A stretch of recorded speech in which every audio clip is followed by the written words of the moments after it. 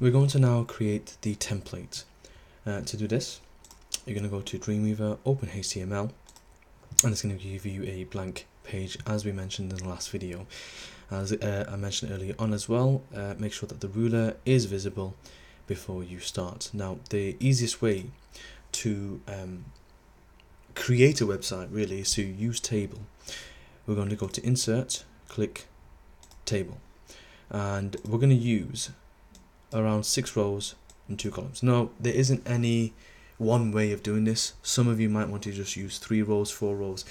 I'm going to create a design that I feel is going to be right for me to use for this website and you'll see why. Now in some pages I might merge some of the cells uh, but for now I'm going to create enough space for me to use in the four pages that we need to create for this micro site. I'm going to have two columns going down and the table width in pixels is 1024 as it says in the exam paper. There. 1024. Now keep this in mind as well that they want it to be 768 pixels going down uh, vertically because they don't want any scrolling. So 1024 and for now I'm going to put one pixel there. I'm going to get rid of it later but just for now um, just so I can get a better understanding because I'm going to have to do a little bit of playing around with this and you'll see why in a moment. So press OK and it comes in.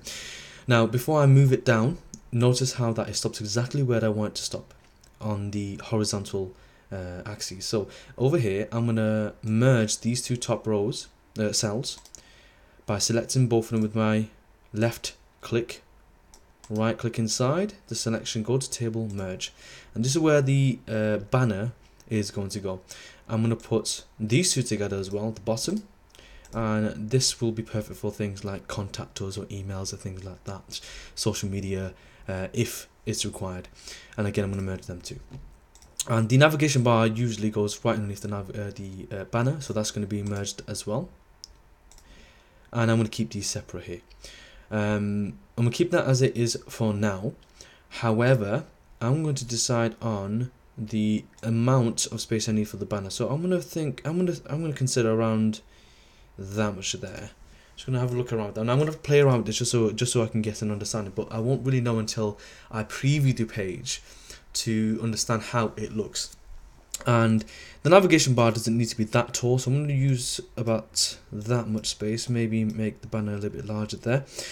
And then I'm going to leave that there as it is, but I'm going to drag this here, the black box, not from the left here where the arrow, the cursor turns into a double arrow, but the black box itself, so this is a white double arrow cursor, and you drag it down to the amount that the exam paper said, which is 768 pixels. So you can see that's 400, so go down until you see 700, there it is, 700, and that's 750.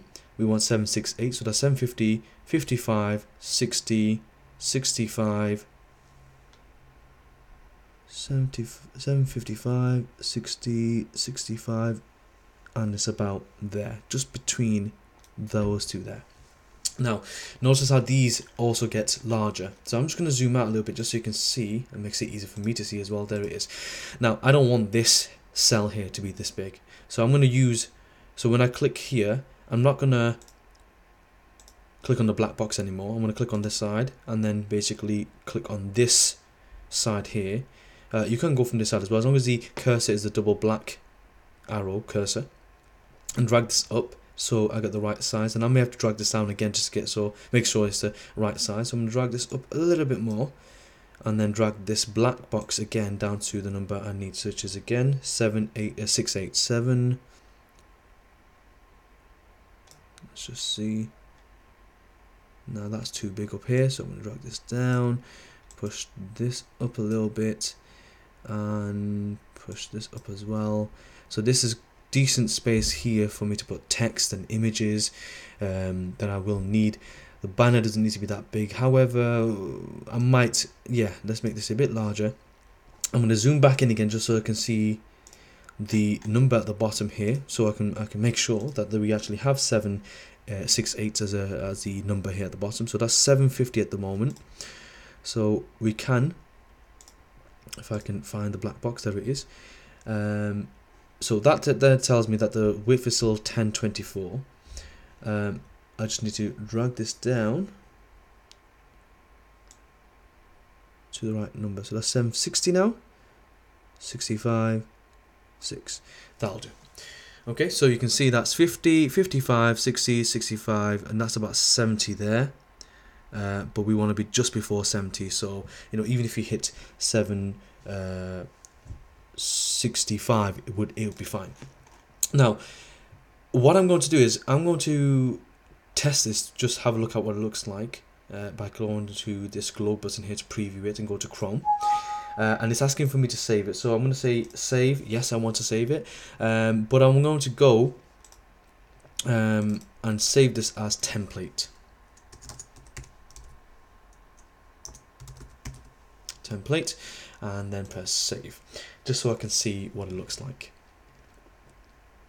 Now it doesn't look like it fits in but if I press the F11 uh, button on the keyboard it should go perfectly in. You can see the top line of the table and the bottom line of the table right at the bottom here and it's perfectly aligned inside this space. So which means there's no need for scrolling okay? Even if I scroll makes no difference because it's that's the end of the page itself. So I'm happy with that height there.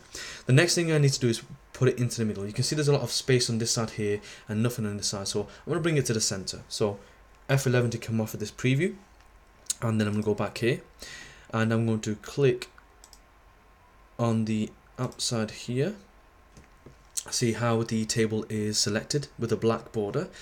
And here you can see the align uh, um, tool. And go to this here what at the moment is known as default. So you're going to go and click center.